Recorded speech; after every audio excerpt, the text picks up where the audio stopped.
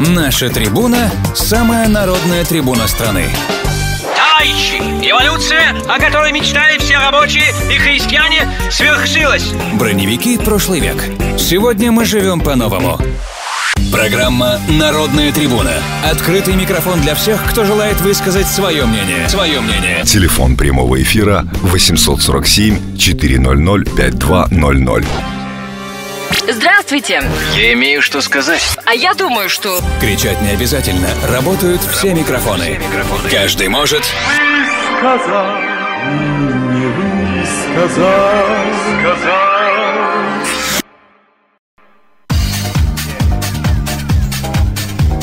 Добрый день, уважаемые дамы и господа. Напомню, вы слушаете радио «Народная волна» на частоте 14.30 М, 99 и 1 FM эм. На нашем веб-сайте radio.nvc.com и, конечно же, на нашем канале в YouTube Radio NVC. Не забывайте зарегистрироваться, если подписаться на наш канал, если вы еще этого не сделали. Ну и если вам нравится содержание наших программ, темы, которые мы поднимаем, ну, можете лайк поставить. Э, от вас, так сказать, не убудет, а нам приятно. Будем знать, какому количеству людей а, понравилось то, что мы делаем.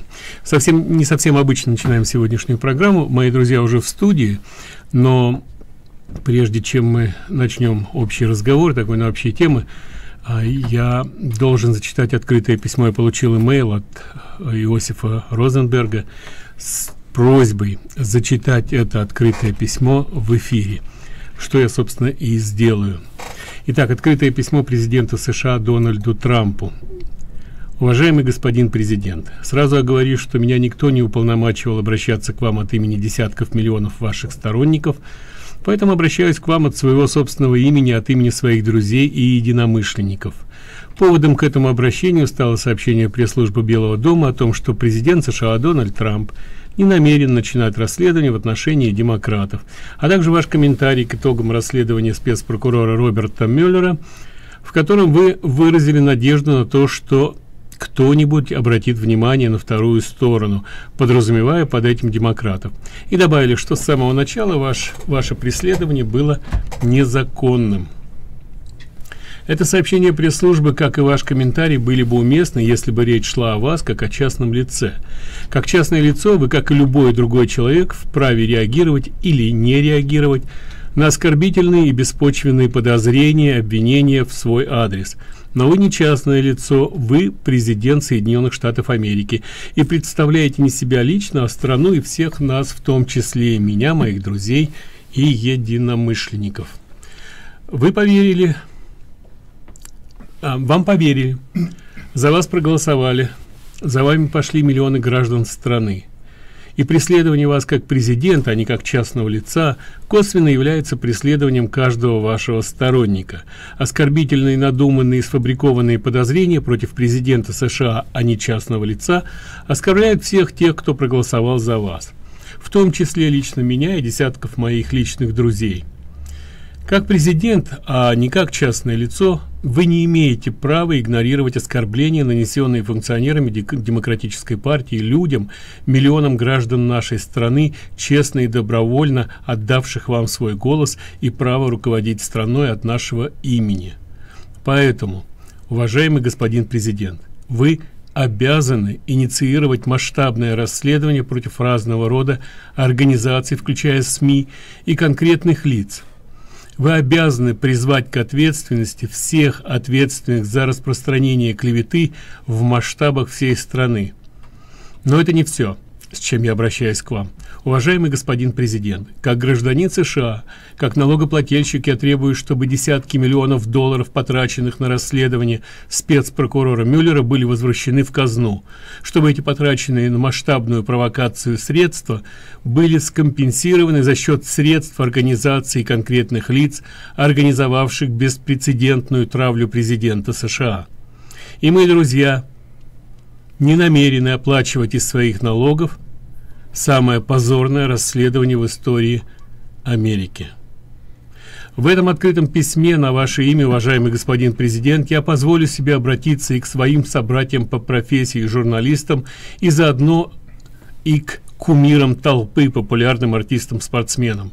Я понимаю, что журналистика вторая после проституции древнейшая профессия. И те, и другие продаются. Но проститутки, в отличие от журналистов, не делают этого публично на глазах у всей страны. Да, у нас в Америке свобода слова, но не свобода тиражируемой лжи и откровенной провокации. И очень надеюсь, что ваши малоуважаемые коллеги, издательства и телекомпании будут также привлечены к ответственности. Уважаемые и горячо любимые артисты и спортсмены, все мы, приобретая билеты на спектакли, концерты, кинофильмы, матчи, соревнования и прочее, платим вам за ваш талант и труд. Получать должное вознаграждение за талант почетно, но продавать свою популярность у толпы, поливая грязью своего президента, низко и позорно. Вот, собственно, и все, что я хотел сказать.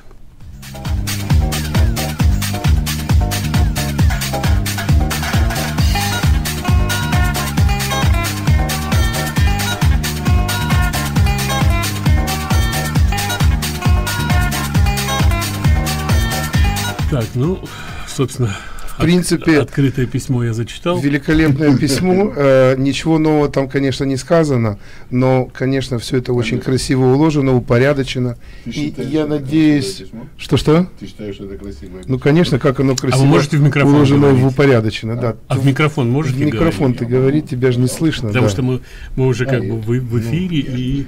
Ну, кстати, я согласен насчет того, что деньги должны быть возвращены в казну, но это, это такая малая толика вообще расходов по сравнению Это с одна теми из, расходами, которые мы тратим на нелегалов и на все остальное. это из области лучше быть богатым и здоровым, чем Да, и больным. совершенно верно, И, да.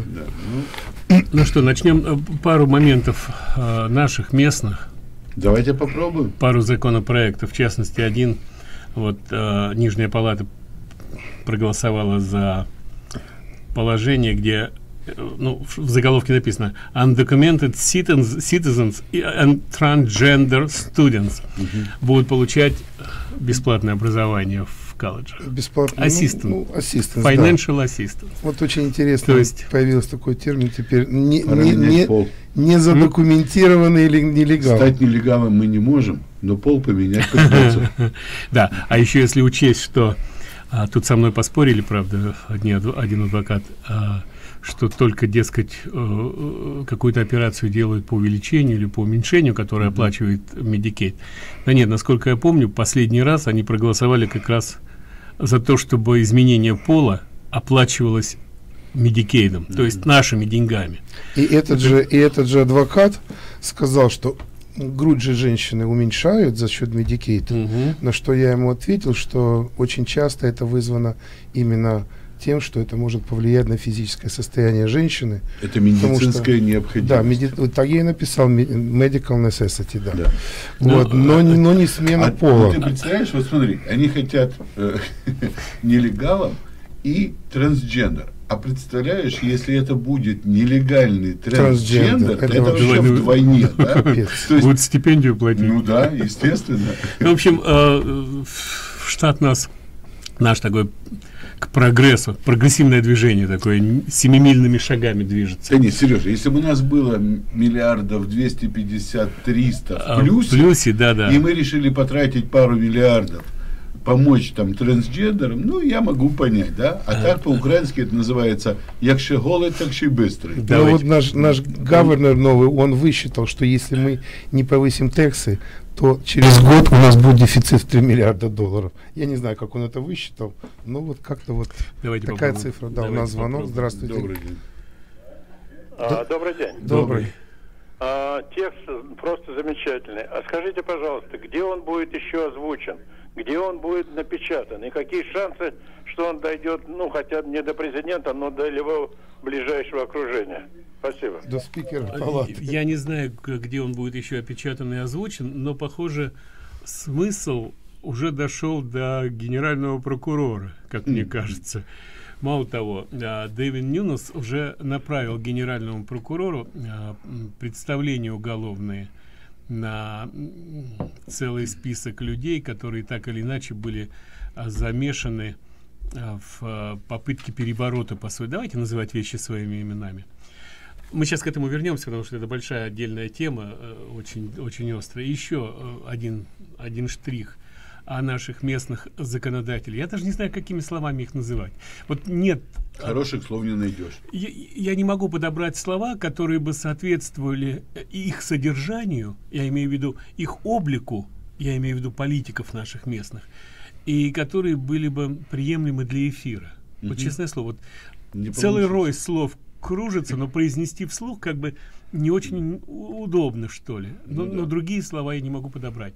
Вот сейчас они приняли положение такое. Придется промолчать. Да. Да, ну может быть у радиослушателей найдется какое-то подходящее слово, чтобы описать а, наших политиков. Вот еще один момент. Они приняли такое положение, где они могут теперь э, сами себя а, назначать на должности. То есть их избрали там курировать какую-то, ну в комитете в Область какую-то, курировать да, да. какую-то там отрасль или что-то, и они теперь могут себя назначать как бы супервайзером еще. Вот кроме того, что они ку- курируют как законодатели, они еще и начальником могут быть исполнителями. То есть, То есть, получается, начальник же еще дополнительные деньги за это должен получать. чтобы ты даже не Все, сомневался. значит, зарплата еще. Каждый, каждый член комитета какого-нибудь получает, ну, кроме того, что они а, просто, так сказать, э, конгрессмены, там, сенаторы, Карма- карманные денежки-то нужны. Ну Они да, получают зарплату. На расходы. Да. они получают зарплату. А если еще они становятся членами комитета какого-нибудь, то это на- надбавка к зарплате. Так они придумывают разные комитеты, чтобы... Ты, Сережа, ты говоришь о таких вещах, вот каких-то, может быть, тех, которые немножко далеко от нас. Мы только что с тобой говорили о, о вещи, которая будет нас касаться лично полгода. На полгода закрыли улицу Данди, нашу любимую, по которой, наверное, половина жителей э, за- западных пригородов едут до хайвея. Полгода они Потому будут что ремонтировать. они будут ремонтировать мост через Великую Пол- с- полгода. реку, такую широченную, Ты- 20 Военсоюзеры. Ты помнишь, ты помнишь, ты помнишь видео, китайцы верно. за трое суток в пятницу вечером начали, в понедельник закончили, мост разобрали Нет, и собрали. Я тебе скажу эстакаду. Если они сделают, вот меня интересует действительно, что они будут делать. Почему? Если они сделают то же самое, что они сделали с Лейкук, то есть сделали подкоп под э, эти И трубы проложить, да? железнодорожный переезд, и этим самым освободят вот этот утренний и вечерний трафик, я согласен на это. Нет, честно. нет, нет, Но нет, если Толик. они Нет, собираются они- строить байпес Не-не-не-не. через... Ре- Э, Судя через- по всему, речь идет о том, что они вот через Реч- речку речушка Des вот эта вот, которая. мост будут ремонтировать. Да это даже Окей, не она Displays будет- River. Подожди, подожди, Как это? секундочку. Это ребят, Displays River. ребят, давайте разберемся еще раз. Не. А что это? Закрыто будет, да перестань секундочку, закрыто будет от Вакиган до Скоки бульвар. Какая Правильно. река? А, это в ту сторону. Там река, там Какая? река. А где? А Щас там ручей какой-то закончится эфир, мы с тобой поедем, я тебе покажу. Это не Dispense River. А, я думал, что Dispense River здесь, это которая возле, возле Милвок. Милвок. Нет, Нет? это там какой-то ручеек, но который уже там сапо- ну, прогнил этот мост, не знаю что. Я Короче, даже не замечал этого что ты моста. говоришь? Там это, так, вот именно этого моста там и нету. На полгода они закрывают А такую представляешь, сколько денег они туда Да, закопают? конечно. По- Почему я сказал насчет железнодорожного переезда? Потому что там же Если переезд, да. Если бы делали вот этот переезд, Да. я вообще согласен, что все переезды должны быть переделаны. В, любом месте. Да, да, да. Вот Пора они говорят уже. насчет инфраструктуры. Вот сделайте лучше это, чтобы перестали на 15-20 минут закрывать трафик, который Это потом да. не разгребешь. У нас есть еще звонок. Добрый день. Э, Добрый день. Здравствуйте. Я, я вообще, вот, честно говоря, э, Сергей Анатольевич, не считаю, что что-то что не так. И поли- э, эти наши политики совершенно правильно поступают. Они поступают, соответственно, тем, кто их избрал. Это не вы и не я. Да, да. Так что на них нечего блымать. Они делают то, что им поручили делать эти самые м, Избиратели. Ну как, идиоты, ну, ум- умники. Да. Понимаете? Они потом, я, я, я, я, к сожалению, в моей семье есть такие люди, зарабатывают большие, большие шестизначные деньги, голосуют регулярно за этих мудаков. Они- А теперь, так как с Иллиноя стало тяжело, большие налоги, они хотят переехать куда-то в какой-то красный штат. Ну, а как слушайте, они так- там будут голосовать? А ну угадайте с трех раз. Вот, вот самое обидное заключается в том, что они, э, Они убили обосрали этот всё. штат, они такие, уехали как в другой штат и будут они. творить Дети, то же это самое. люди за 40. И будут творить то же самое. И будут голосовать за таких же ублюдков и будут убивать Абсолютно. другие штаты. Причем, я вам скажу Но это такую вещь. неизлечимо. Спасибо Есть- за внимание. Спасибо вам Спасибо. огромное за звонок. Есть такая вещь, называется бета-тест. То есть это обычно такой пробный э, вариант, который потом, если он сработает, будет развиваться. Это относится ко всему. К машинам, к электронике и так далее. Так вот, мне вообще кажется, что они сейчас ставят Иллиной, все равно нам уже деваться некуда. Уже подняли, обложили со всех сторон. По-моему, они ставят Иллиной как экспериментальное общество, посмотреть, насколько можно протолкнуть вот эти идиотские демократические идеи. Вот это нечестно так кажется. А мне кажется, что они соревнуются с Калифорнией, кто больше с ума сойдет. Так же, как вот кандидаты в президенты. Кто более сумасшедшую идею выкинет. Один придумал, второй вдогонку либо цепляется за эту идею, либо а Да, я да, еще да. дурнее еще, да. придумаю. Вот Да, так Кто вот. похвалит меня лучше Да. всех, кто получит Большую да, сладкую кон- конфету. конфету. Добрый день. Алло, здравствуйте. А вы слышали, что было в Нью-Йорке? Они подняли для тех, кто А. зарабатывает больше 500 Да, да, да. тысяч, э, 13% state tax. А 500 тысяч это при- э, 13% это 65 тысяч в год. А люди, которые зарабатывают 500 тысяч, они же не дураки, правильно? Они люди умные, хотя, может быть, и демократы тоже. Они поехали во Флориду и, ну, там, зарентовали, купили что-то, купили дома. Так Нью-Йорк теперь, чтобы все равно брать с них эти деньги, теперь создал комиссию и начал за этими людьми следить, сколько времени они проводят во Флориде в своем доме, а сколько э, времени они проводят в Нью-Йорке, Да, чтобы все-таки забрать эти 65 Так называемый exit tax. Да. Сколько стоит эта комиссия, налог. мы не знаем. Сколько стоит эта слежка, мы не знаем. Какие это миллионы. Опять же, мы не знаем. Но на самом деле, посмотрите, что происходит. Ну, Весело. Зато три, спасибо большое, 3,2 миллиарда они считают, что у них будет дефицит в связи с тем, что народ из Нью-Йорка, а, который имеет возможность уехать, уезжает. Но зато они приняли закон, по которому, опять же, нелегальные иммигранты будут получать финансовую помощь а, для учебы, для а, учебы в университетах, в колледжах, а за счет налогоплательщиков. При этом они а, а, проголосовали против законопроекта, который предусматривал финансовую помощь детям инвалидов, принимавших участие в боевых действиях, или пожарных и так далее. Одним словом, а, детям тех, кто либо потерял кормильца, служа в армии там, или пожарным, или полицейским, за, против этого закона проекта леворадикальное отребье Нью-Йорка проголосовал против. А вот чтоб нелегалов, а, так сказать, профинансировать их обучение в колледжах, они проголосовали за. Сотни миллионов долларов на это выделяется. Что предложил э, демократ, э, сенатор от Калифорнии, э, Скотт Вайнер? Он внес законопроект о э, на наследство. 40% э, на наследство больше трех с половиной миллионов на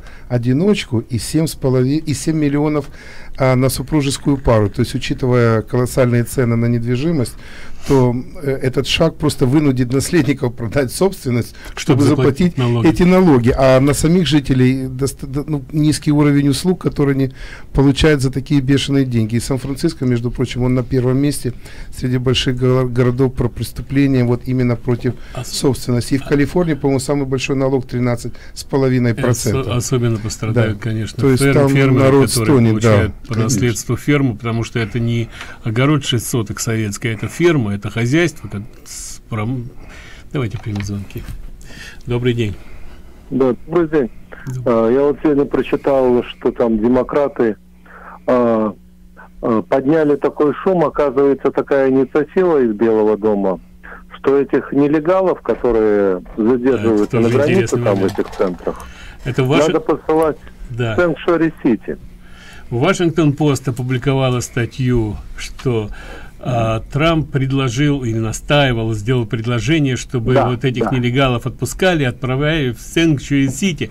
Причем подчеркнуто, что это к его от- а, атакует, таргетит а, своих политических оппонентов или врагов, не помню, Ну как да. там. А вообще удивительно. э, Спасибо Да, большое. Подождите секундочку, но никто же сегодня не говорит о том, что Обама этих же нелегалов собирался отправить в Алабаму к Джеффу Сэшенсу, Абсолютно. потому что тот был против э, нелегальной эмиграции.